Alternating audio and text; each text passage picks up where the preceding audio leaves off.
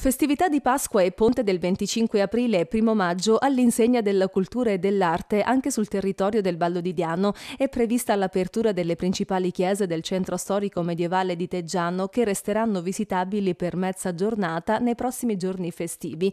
Aperti anche il Museo Diocesano di San Pietro, il Museo delle Arti e delle Tradizioni Popolari e il Museo delle Erbe e delle Antiche Coltivazioni. Il Museo di San Pietro racconta la storia civile e religiosa di Teggiano e della sua diocesi, rappresentata in una delle chiese più antiche della città vescovile, sorta sui resti di un tempio romano di cui rimane il podio esterno. Nei prossimi giorni festivi si potrà visitare nel Vallo di Diano anche il Museo archeologico della Lucania occidentale a Padula.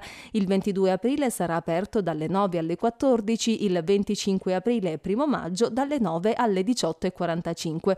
L'apertura straordinaria è stata disposta dalla provincia di Salerno che ha previsto previsto l'apertura di tutti i musei provinciali, ad eccezione dell'archeologico dell'Agro Nocerino e dell'area archeologica di Fratte.